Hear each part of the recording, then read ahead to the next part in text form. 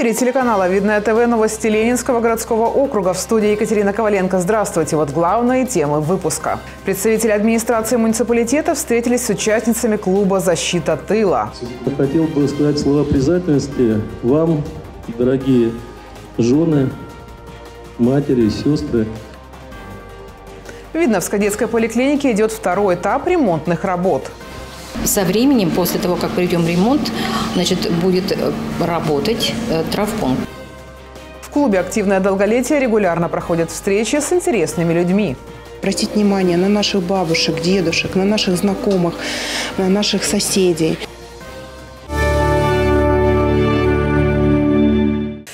Чтобы поддержать семьи мобилизованных, в муниципалитете организован клуб «Защита тыла». Представители администрации Ленинского округа в кинотеатре «Искра» встретились с его участницами для того, чтобы решить наболевшие вопросы. Все подробности в следующем сюжете. После того, как объявили о частичной мобилизации, матери, отцы, жены и дети переживают разлуку с близкими. И в это время им как никогда нужна психологическая помощь и поддержка. Специально для семей военнослужащих в декабре 2022 года организовали клуб жен мобилизованных под названием «Защита тыла». Позвонили с администрации что микрорайона и сказали, что есть такая группа, пригласили на встречу. Вот мы встретились, нам помогают. Сам по себе клуб был сформирован для того, чтобы показать моральную поддержку девочкам здесь, которые остались без мужей в момент мобилизации. Поэтому, соответственно, на сегодняшний момент мы представляем их интересы в ведомствах, работаем с органами э, по администрации, да, то есть это образование, ЖКХ, основное направление, помощь семьям здесь, которые остались без мужчин. В кинотеатре «Искра» состоялась встреча клуба с представителями органов местного самоуправления, которые попытались ответить на вопросы граждан, чьи мужчины сейчас принимают участие в специальной военной операции.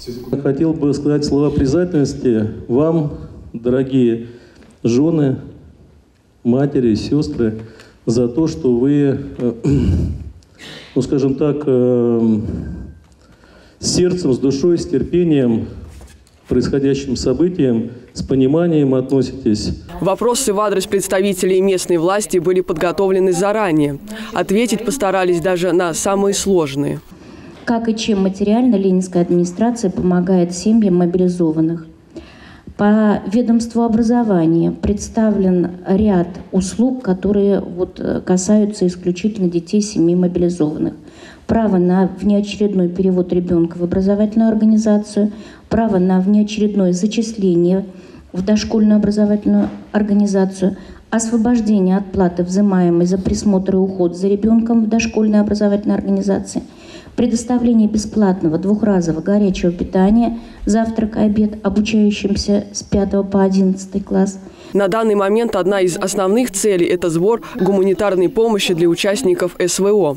В кинотеатре «Искра» вот уже более полугода плетут маскировочные сети, изготавливают другие необходимые вещи для фронта. Вот вы видите заготовочки такие, даже и сами эти сети есть девочки плетут. Вот такие лешие. У нас есть нашлемники, э, носилки, э, на блиндажи покрытия. В общем, то, что в наших силах и что умеем, то мы, конечно, делаем. В клубе «Защита тыла» помогут найти решение всех вопросов и проблем. В период военных действий любая помощь будет не лишней. Юлия Стаферова, Кирилл Иванов, Екатерина Давлятова, Видное ТВ. Продолжается ремонт Видновской детской поликлиники. Еще летом полностью была обновлена входная группа. Установлены новые пандусы и поручни. Выполнен частичный ремонт фасада. А сейчас идет второй этап ремонтных работ на первом этаже. Наша съемочная группа оценила масштабы и сроки. Работы в Видновской детской поликлинике стартовали еще в начале года. Учреждение попало в проект областного Минздрава «Поликлиника Перезагрузка». Была обновлена входная группа и отремонтирована одна половина первого этажа. А сейчас пришло время второй. Все выполняется согласно единому для детских лечебных учреждений брендбуку. Брендбук детских поликлиник по Московской области – это зеленая гамма. Это, как вы видите, видите, зеленые стены, зеленые диванчики, а брендбук взрослых поликлиник – это синие. Поэтому он будет такой, в такой же цветовой гамме, с, такими же, с такой же мебелью будет. Поэтому все будет в едином стиле. Сейчас ремонт в активной фазе. Покраска, штукатурка, побелка стен, укладка кафеля, замена санузлов. Работы ведутся круглосуточно. Пыльные выполняются в основном ночью. На первом этаже полностью обновят 20 кабинетов. Здесь будут вести прием неврологи, гинекологи, лоры. И откроется первый детский травмпункт в округе. Как раз э, сейчас э, перепланировку как э, проводим. И э, со временем, после того, как проведем ремонт, значит, будет э, работать э, травпункт. Он будет работать с 8 э, утра до 20 часов и будет принимать только детей всего Ленинского района. Травмпункт оборудуют отдельным входом. Рядом можно будет сделать рентген и МРТ. Также отдельные входы обустроят в отделениях неотложной медицинской помощи для детей первого года жизни и профилактических осмотров. Кстати, пока ведутся работы, прием маленьких пациентов не прекращается ни на минуту. Полностью обновленный первый этаж будет готов уже до конца ноября. Екатерина Коваленко, Кирилл Иванов, Екатерина Давлятова. Видно ТВ. О своем здоровье женщины должны заботиться не только в молодости. В этом уверены доктора Видновского перинатального центра, которые пришли на встречу с представительницами активного долголетия в Центре социального обслуживания населения «Домодедовский». Татьяна Бралова продолжит тему. Даже в пенсионном возрасте представительницы прекрасной половины человечества должны следить за здоровьем репродуктивной системы. Современная медицина постоянно совершенствуется, и многие женщины даже не догадываются о ее возможностях. Врач Видновского перинатального центра Самира Мусаева простым языком рассказала участницам встречи о том, какие обследования возможно пройти в женской консультации, какие операции сегодня делают в центре. Не надо забывать о сердечно-сосудистой недостаточности, о варикозе и об тромбоэмболических осложнениях в таком возрасте и все остальное. Татьяна Меньшова внимательно слушала доктора. Говорит, все сказанное очень пригодится каждой участнице встречи. Полезно было, много нового узнала. Знаете, интересно, потому что ну, проблемы существуют. И теперь есть повод, хотя и регулярно хожу, но теперь еще раз повод. Повод посетить женскую консультацию наверняка будет теперь и у других женщин, пришедших на лекцию врача-гинеколога. Деликатные проблемы часто уходят на второй план, а это как раз тот случай, когда появилась возможность напомнить о женском здоровье. Про это как-то мы стесняемся говорить, мало ходим. А вот сегодня мы прослушали очень полезную лекцию, очень информацию получили большую. Встречи с врачами в центре Домодедовский проходят по запросам пенсионеров. Именно они инициируют беседы с узкими специалистами, обсуждая на них важные для своего здоровья вопросы. Сегодня это была действительно интересная тема. Я сперва спросила их желание, так как они согласились и были достаточно заинтересованы. Мы пригласили перинатальный центр, чтобы нас проконсультировали по таким вопросам. Ну а в центре уже бывал врач-гериатр и другие специалисты. Здесь заботятся о том, чтобы долголетие было действительно активным. Татьяна Брылова, Кирилл Иванов, Максим Константинов. Видное ТВ. В продолжение темы досуг старшего поколения в нашем муниципалитете стараются максимально разнообразить. Для участников клуба «Активное долголетие» проводят встречи с интересными людьми, где они могут пообщаться, узнать что-то новое и провести время в хорошей компании. Подробности расскажет Дмитрий Книга. Участниц клуба «Активное долголетие», проживающих в шестом микрорайоне, пригласили на встречу в библиотеку на улице Завидной.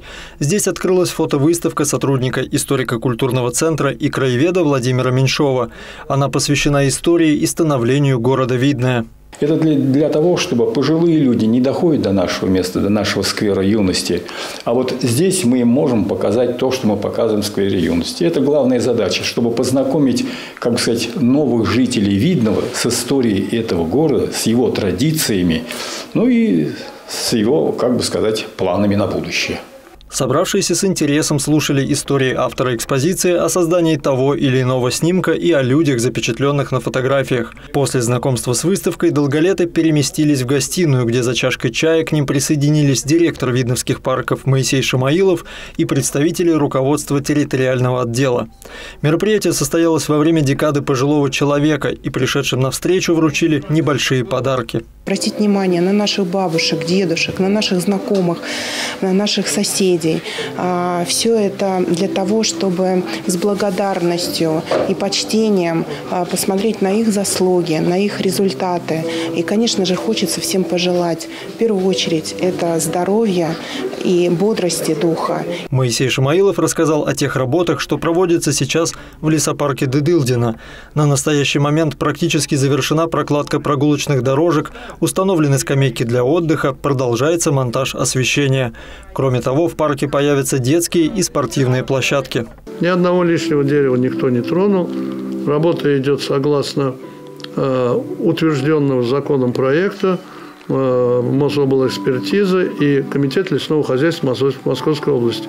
Комитет ежедневно следит за работой, чтобы мы там ничего не натворили, да мы и сами следим. Работы по благоустройству будут окончены к 15 ноября, и парк Дедылдина станет еще одной городской точкой притяжения. Дмитрий Книга, Сергей Ларин, Максим Константинов, Видное ТВ. И это все новости на сегодня. С вами была Екатерина Коваленко. До новых встреч!